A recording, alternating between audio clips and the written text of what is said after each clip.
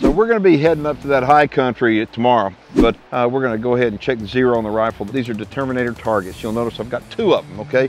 I've got one for moose. It's a great big giant target because a moose is a great big giant target. And this is a grizzly dangerous game target by Determinator effective range targets. Now, we're going to start on a moose target first.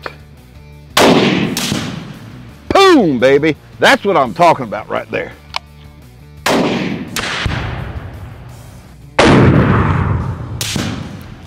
I'm always a believer to shoot five shot groups.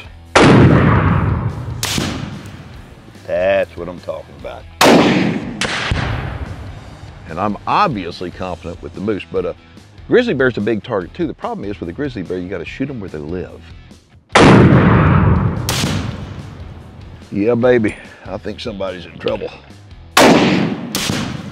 We got a dead grizzly bear. Confidence level is extremely high.